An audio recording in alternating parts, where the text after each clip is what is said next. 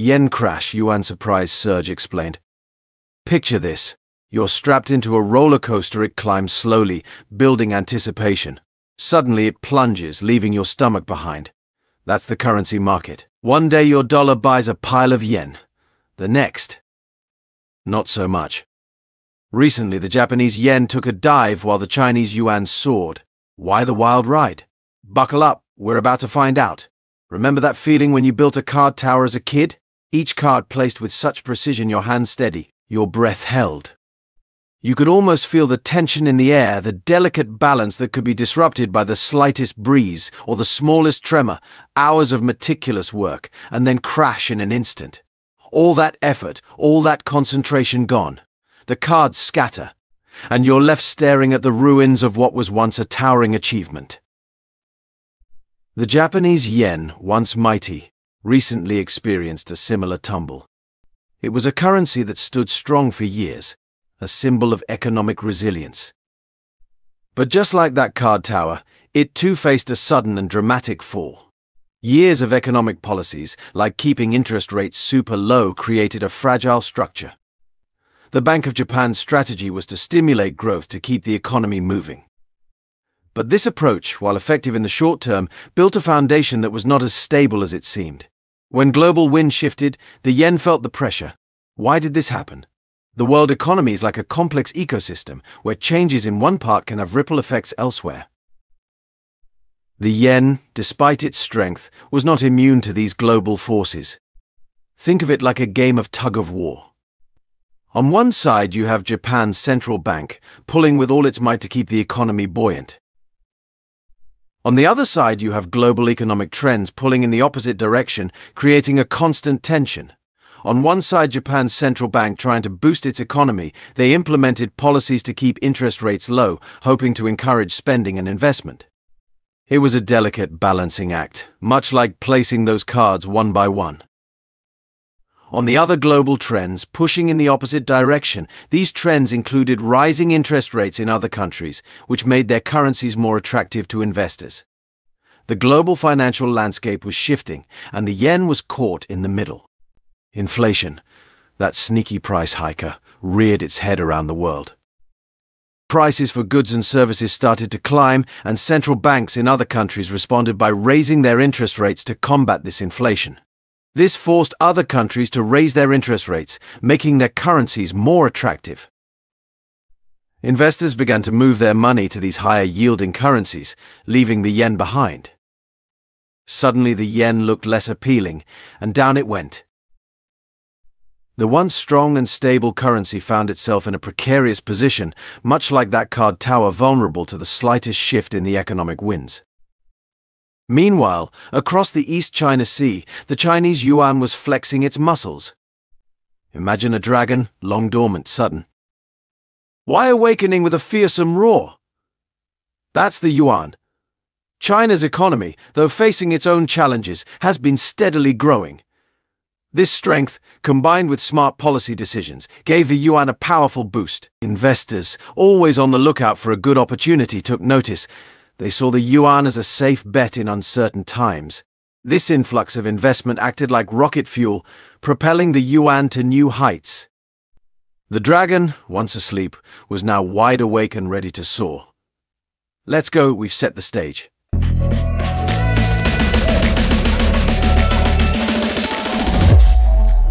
Welcome to Revo, now your go-to channel for all things revolutionary. At Revo Now, we are passionate about exploring the innovations, breakthroughs, and game-changing ideas that are shaping the world today. Our mission is to bring you the latest and most impactful advancements in technology, science, culture, business, and beyond, all in one place. Please subscribe, like, and share our videos. Now, let's delve into the nitty-gritty. What are these mysterious economic forces that make currencies dance? Imagine a giant seesaw on one end supply on the other demand. When more people want to buy a currency, its value goes up. When demand weakens, the value drops. Interest rates play a big role here. Think of them as the price of money. Higher interest rates in one country attract investors like bees to honey, boosting demand for that currency. Conversely, low interest rates make a currency less appealing, Just like a sale at your favorite store draws in crowds, it's all about incentives. Interest rates. The invisible hand. Interest rates are often described as the invisible hand that guides the economy. They are a crucial tool used by central banks around the world to control economic growth and inflation.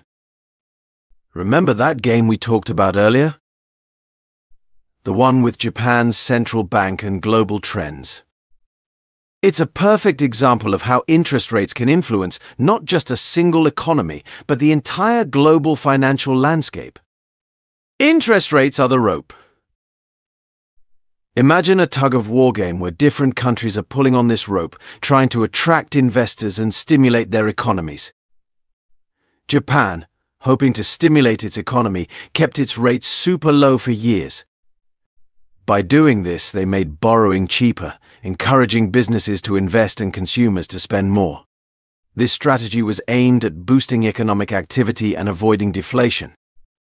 This worked for a while, but then inflation hit the global scene. Inflation is like a hidden tax that erodes the purchasing power of money. When prices start rising too quickly, it can destabilize economies and hurt consumers. Other countries like the United States started raising their rates to combat rising prices. The Federal Reserve, for instance, increased interest rates to make borrowing more expensive, thereby cooling down economic activity and curbing inflation. Suddenly, investors could get a better return on their money elsewhere. Higher interest rates in the US meant that investors could earn more by putting their money in American assets rather than in Japanese ones. It's like choosing between a savings account that gives you 0.1% interest and one that offers 5%. Which would you pick? Naturally, you'd go for the higher return, and that's exactly what investors did. Naturally, investors flocked to currencies with higher interest rates, leaving the yen behind.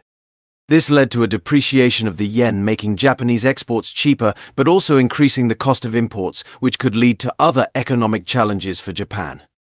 So the invisible hand of interest rates doesn't just affect one country, it has a ripple effect across the globe. Central banks must carefully balance their policies to manage their own economies while considering the global impact. It's a delicate dance, one that requires constant vigilance and adjustment. In the end, interest rates are more than just numbers. They are powerful tools that shape the economic destiny of nations. Understanding their role helps us grasp the complexities of the global financial system and the interconnectedness of our world. Global trade, riding the waves. But wait, there's more. Currency values aren't just about interest rates. Global trade, that massive exchange of goods and services, also plays a crucial role. Imagine ships laden with cars, electronics, and all sorts of products crisscrossing the globe. Each transaction influences the value of the currencies involved. When a country exports more than it imports, its currency tends to strengthen. It's like earning more money than you spend, your wallet gets fatter. Conversely, if a country imports a lot, its currency might weaken. Think of it as overspending your bank account might feel the pinch, the intertwined fates of yen and yuan. So what does all this mean for the yen and the yuan? To understand this, we need to delve deeper into the economic landscapes of Japan and China. Their stories are closely intertwined, reflecting the broader dynamics of the global economy. The yen and the yuan are not just currencies, they are symbols of the economic strategies and challenges faced by their respective countries. Japan, heavily reliant on imports, felt the sting of a weak yen this weakness in the yen means that Japanese businesses and consumers have to pay more for imported goods, which can range from raw materials to everyday consumer products. Imported goods became more expensive, putting pressure on consumers. This increase in prices can lead to inflation, which affects the purchasing power of the average Japanese household. Families find themselves spending more on essentials, leaving less for savings and discretionary spending. On the other hand, China, a manufacturing powerhouse, saw its currency rise, making its exports pricier for the rest of the world. This rise in the yuan can be a double-edged sword. While it signifies a strong economy, it also means that Chinese goods become more expensive for international buyers. This delicate dance between the yen and the yuan highlights the interconnectedness of the global economy. The fluctuations in these currencies can have far reaching effects influencing trade balances, economic policies, and even political relations between countries. When one currency moves, it sends ripples across the world, affecting businesses, consumers, and investors alike. A stronger yen or yuan can impact global supply chains, alter investment strategies, and shift consumer behavior in various markets. It's a complex web, but understanding the basic principles can help us navigate these turbulent financial waters. By keeping an eye on these currencies, we can gain insights into broader economic trends and make more informed decisions in our personal and professional lives. What does the future hold? Ah, the million dollar question. Predicting the future of currency markets is like predicting the weather. You can make educated guesses, but there are always surprises. Will the yen recover? Will the yuan continue its ascent? Only time will tell. Experts are closely watching global economic trends, central bank policies, and geopolitical developments for clues. The ongoing war in Ukraine, rising inflation, and supply chain disruptions are just a few factors that could influence the future direction of these currencies. It's a dynamic situation, and staying informed is key. Your turn to weigh in. That's it for our whirlwind tour of the yen's crash and the yuan's surge. I hope you found it insightful and, dare I say, entertaining. Now it's your turn to join the conversation. What are your thoughts on this financial rollercoaster? Do you have any questions about the forces at play? Share your insights in the comments below. I'm always eager to hear from my viewers and learn from your perspectives. After all, the world of finance is full of fascinating stories, and who better to explore them with than a community of curious minds? What's next? Before we sign off, let's talk about future topics. The world of finance is vast and ever changing, and there's always something new to explore. Are you interested in learning more about investing the stock market, or maybe the rise of cryptocurrencies? Let me know what piques your interest in the comments. Your suggestions will help shape future videos and keep the conversation flowing. Until next time, stay curious, stay informed, and happy investing. Subscribe to Revo now and join our vibrant community of forward thinkers, change makers, and revolutionaries.